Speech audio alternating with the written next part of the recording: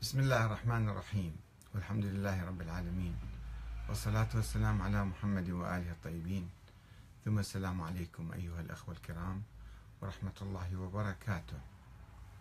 تعرفون جميعا أن صلاة الجمعة صلاة يعني مهمة جدا وهي مخصصة لكي يجتمع الناس أكبر قدر ممكن في أكبر مساحة ويقوم الإمام بوعظهم وإرشادهم. مو فقط يعني يصلون صلاة عادية كأي يوم صلاة جماعة عادية أي صلوات يعني خلال الأسبوع. لا صلاة تتميز فيها يعني نوع من آه، التوجيه وفيها خطبتين الإمام يخطب ويعظ الناس. مقابل الخطبتين تقتصر الصلاة إلى ركعتين صلاة الظهر. هي نفس صلاة الظهر بس يوم الجمعة تصير اسمها صلاة الجمعة. وإذا كانت هذه الصلاة في مسجد مهم وعظيم مثل مسجد الإمام الحسين ففيها روحانية أكثر تصير فيها ذكريات فيها يعني مبادئ وقيم وإضافية في الصلاة. فالواحد لازم يحترم موقع الصلاة وموقع المكان اللي يصلي فيه أيضا المسجد الخاص هذا. حتى يعطي فوائد جمة أكثر. وتعرفون أيضا أن الشيعة عموما ما كانوا يصلون صلاة الجمعة يقولون انتظارا للإمام المهدي ما عندهم إذن من الإمام الغائب صار له 1200 سنة ولا إذن نائب الخاص فإذا الصلاة مو واجبة.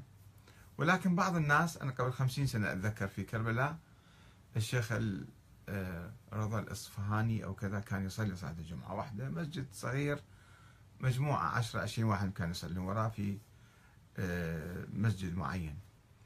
ثم عندما قامت الثورة الإيرانية وأصبح الحكم بيد العلماء الإمام الخميني رحمة الله عليه عين أئمة جماعة في كل مدينة وبدأوا يصلون صلاة الجمعة وفي العراق ما كان أحد يصلي صلاة الجمعة عموما. في الخمسينات في الستينات الشيخ الخالصي الشيخ مهدي الخالصي أو محمد الخالصي بدأ يصلي ولكن أيضا علماء النجف حاربوا الصلاة هذه حاربوا الشيخ الخالصي يعني شلون يصلي صلاة الجمعة؟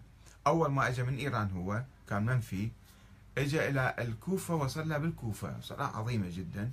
ولكن علماء النجف متحجرين آه، ومتقوقعين وينتظرون الإمام المهدي فما قبلوا على الصلاة. وطبعا بالحقيقة هو كان يسحب الزعامة من عندهم أيضا. فحاربوا بها الشغلة هذه حاربوا الصلاة أيضا. وانكفى إلى الكاظمية فقط في مسجد صغير يمكن في الكاظمية كان يصلي واستمر على الصلاة والآن حتى الآن مستمرين. ما عدا هذا عموما ما كان أحد يصلي من الشيعة في العراق يصلي صلاة الجمعة. ثم آه، السيد محمد الصدر رحمة الله عليه آه، بدأ يصلي صلاة الجمعة في التسعينات. و حظية الصلاة وحط أئمة أيضا في مدن أخرى في مدينة الصدر ومدينة الكذا بغداد وبصرة ومدن أخرى يعني صاروا يصلون. آه، الشيوخ التابعين له. فأيضا حورب حورب من المرجعية من السيستاني ومن غيره. أنه شنو هاي الصلاة صلاة الجمعة ما يجوز الصلاة وصارت يعني هجوم عليه. بعد سقوط النظام السابق نظام صدام. بدأ السيستانيون يصلون صلاة الجمعة وفي كربلاء وفي النجف وما أدري بالمحافظات الأخرى هم من عندهم مندوبين أو لا. صار عندنا صلوات عديدة صلاة آه، خط السيستاني وصلاة خط الصدر وصلاة خط مرجع الخالصي وآخرين يعني. وهذا طبعا مو صحيح لازم صلاة عامة تكون مثل أي صلاة جماعة لله تعالى بدون أسماء. في كربلاء عندنا يتبادل على صلاة الجمعة اثنين. أمين العتبة الحسينية وأمين العتبة العباسية. الشيخ عبد المهدي الكربلائي والشيخ والسيد أحمد الصافي. أه وخطبهم هم على أساس ممثلين المرجعية.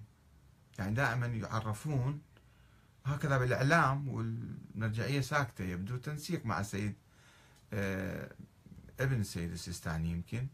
أن ذولا يعبرون دائما عن مواقف المرجعية. آه، اليوم الماضي الجمعة الماضية يعني آه، السيد أحمد الصافي صلى صلاة الجمعة في مسجد الإمام الحسين عليه السلام. وهو غير الخطبة مالت خطبة وعظية كانت عنده وخطبة ثانية تحدث بها عن المرجعية. المرجعية والمراجع قال أنهم هم وكلاء الإمام المهدي. يعني كأنه في اهتزاز بالساحة الآن. في كثير من الناس بدأوا يراجعون أن المرجعية شنو أساسها. وشفنا أيضا قبل أيام آه، في صلوات الخط الصدري التيار الصدري أنه في نقاشات في داخل المصلين أنه ما هي شرعية التقليد. لماذا يجب أن نقلد؟ الناس بدأوا يسألون حتى من أشد التيارات انغلاقا وتبعية وخضوعا لقائدها وزعيمها بدأ الناس شنو التقليد هذا؟ من وين جاي؟ وليش نقلد؟ شنو شرعية التقليد؟ ويبدو الكلام أوسع وأكثر من التيار الصدري. أيضا كان عندنا أخبار عديدة في آه، الأسابيع والأشهر الماضية أنه في حركات تنادي بعدم جواز التقليد. طبعا عندنا الخط الأخباري في البصرة وفي الناصرية وفي كربلاء الخط الأخباري القديم ما يؤمن بالتقليد ويقول التقليد حرام. الخط الأصولي اللي كان يقول التقليد واجب وأعمالك باطلة إذا ما قلدت والمراجع كذا وكذا فبدأوا يتحدثون عن أن المراجع هم وكلاء الإمام المهدي. زين هو الإمام المهدي؟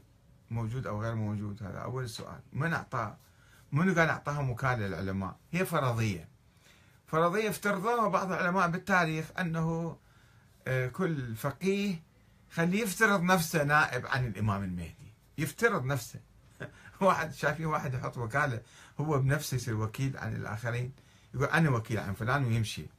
فالمراجع هالشكل هاي النظرية إشاعات كلها. إشاعات ونظريات وفرضيات وهمية وأساطير في أساطير.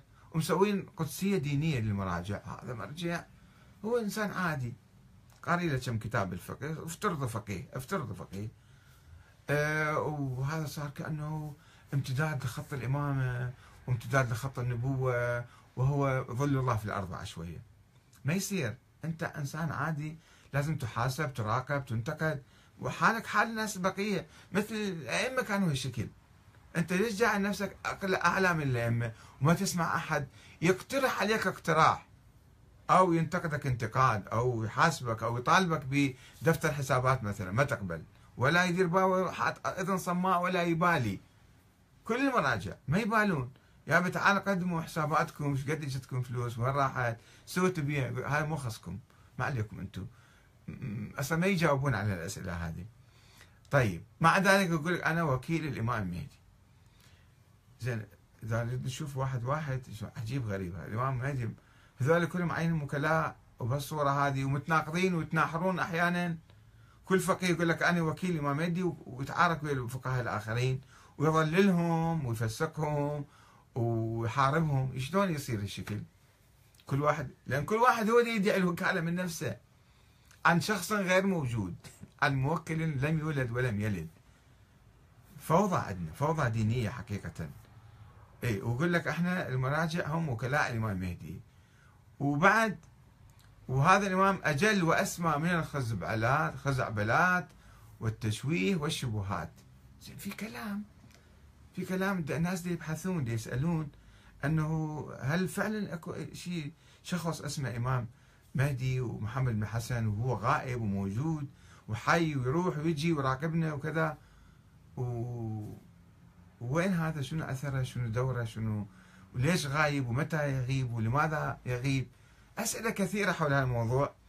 في الوعي الديني الجديد حتى عند الشيعة في العودة إلى أصول المبدأ الشيعي المبدأ العلوي التشيع العلوي الحسيني مو التشيع الصفوي والقاجاري والبويهي والما أدري. كذا اللي كل واحد يسوي له نسخة ويفرضها كأنها هي النسخة الصحيحة. انحرافات كثيرة حدثت في التاريخ عن أهل البيت عن خط أهل البيت في صفوف الشيعة وكل واحد يقول أنا الممثل الحقيقي للتشيع. ما يصير. زين. وما يسمحون أحد يناقش ولا أحد يحاور ولا أحد يسأل ولا أحد كذا. وشوية لو ناقش بعض القضايا التاريخية مثل السيد فضل الله يصبح ظالم وظل ولازم يقاطع لازم يحارب لازم يضرب. دعا ممثل المرجعية الدينية العليا السيد أحمد الصافي في خطبة الجمعة التي ألقاها من داخل الصحن الحسين الشريف إلى الالتزام بخط المرجعية العليا. يعني إحنا مو عندنا دستور وعندنا نظام سياسي وعندنا انتخابات. شو نسوي بعد بالمرجعية؟ ليش لازم نلتزم بخط المرجعية؟ من هي المرجعية؟ منو جابهم؟ منو نصبهم؟ منو حطهم؟ منو ما نعرف. ناس ما يعرفون. في ناس أشياء سرية آه، تحاك بليل وفد مرة يطلع لنا واحد مرجع ولازم إحنا هذا المرجع الأعلى ولازم نسمع كلام المرجعيه العليا وترك الأفكار المشوهة وترك الشبهات. شنو هي الشبهات؟ اشرح لنا إياها. وإذا عندك دليل ضدها قدم الدليل يا سيد أحمد الصافي. مبينا إن على الشباب الالتزام بهذا الخط الواعي الديني. خط واعي ولا خط ضد الوعي وأن يكونوا على هداية ونور وعدم التأثر بكلام الجاهلين والأفكار المشبوهة. منهم عيننا اياهم قول منو فلان. قول أحمد الكاتب جاهل قول أحمد الكاتب منحرف قول أحمد الكاتب عنده أفكار مشبوهة. ليش تخاف؟ قول حط نقاط على الحروف. لا والأسوأ من كل ذلك يقول في كلمة عجيبة غريبة ما تناسب لا مقام صلاة الجمعة ولا مقام الإمام الحسين. واحد يتكلم بهالصورة. وأنت معتمد المرجعية وكلامك انحسب على المرجع. يرضى ما سمع الخطوة مالتك المرجع يوم أمس أو لم يسمعها وما هو رأيه وما هو تعليقه عليه. كلام جدا ما يناسبك أنا ما أقول أكثر من هذا. يقول لو رأيت أمامي أحدا يطير بين السماء والأرض ولا يؤمن بالمرجعية لا يساوي عندي كلام الظفر. ليش؟ شنو المرجعية صارت أصل من أصول الدين؟ أو أصل من أصول التشيع. فبدعة حادثة بالتاريخ. كنا بحاجة إلى ضرورة معينة صارت المرجعية وراحت وصارت عندنا دولة الآن. إيه شوية أدرس الموضوع التاريخ الموضوع من أوله إلى آخره وشوف وين نسير إحنا بأي اتجاه. والناس بيا عالم وإحنا بيا عالم بعدنا. هذا يسيء للمرجعية ويسيء لصلاة الجمعة. ما لازم صلاة الجمعة يكون فيها اللغة الهابطة في الحقيقة. من الكلام. شنو؟ لا يساوي عندي منو أنت حتى يساوي عندك كلام الظفر أو ما يساوي؟ من أنت يعني؟ شوف نفسك راجع نفسك شوف وضعك. شوف ما أريد أحكي شيء بدون دليل وبدون كذا. ف ما يصير هاللغة. أنا أطلب من السيد السيستاني أن يستمع لخطوة السيد أحمد الصافي يوم أمس يوم الجمعة و... ويعطي رأيه ما موافق عليه وإذا موافق فتلك مصيبة. وإذا ما موافق يعني وما سامع أصلا الخطبة. فواحد يدعي أنه وكيلة ومعتمدة وناطق رسمي باسمه وما يعرف ما منسق ويا السيد المرجع مثلا. والسلام عليكم ورحمة الله وبركاته.